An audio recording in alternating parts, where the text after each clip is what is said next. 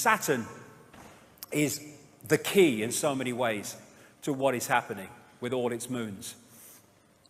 Um, just a reminder Saturn um, may appear to be what it is in the holographic world, that, but actually, again, it's an information field, it is a consciousness. Um, everything is aware, everything has a consciousness. So these um, planets and suns, they have consciousness, they have awareness, they are entities in their own right.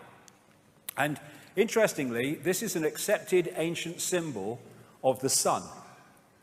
and people think, understandably, that it's a symbol of the sun that we know today. But is that symbol more likely to be the sun we know today or the sun we once knew? Saturn. Saturn is the key to understanding uh, so much. Uh, it was known as the old sun, it is known in occult as the old sun, the dark sun, and the dark lord, the lord of the rings. And the massive penny dropped for me.